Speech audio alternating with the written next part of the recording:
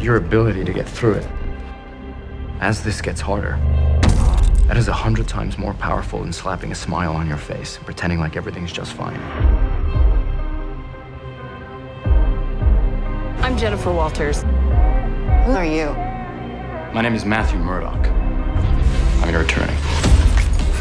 For years, I've been treating the Hulk like he's some kind of disease.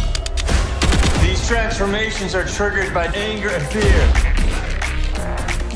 Brains and the brawn together. Don't make me angry. You wouldn't like me when I'm angry.